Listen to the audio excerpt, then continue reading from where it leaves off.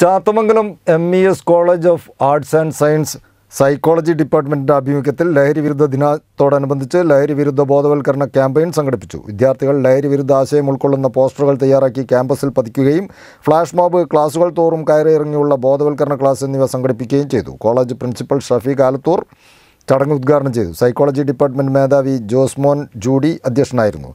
N programme officer Muhammad Riyas commerce വിഭാഗം മേധാവി മുസ്തഫ ഷമീം ഹന യോം ഫർഹാന നിയാസ് നിഹാൽ ഇസാം നിഖിൽ തുടങ്ങിയവർ നേതൃത്വം നൽകി.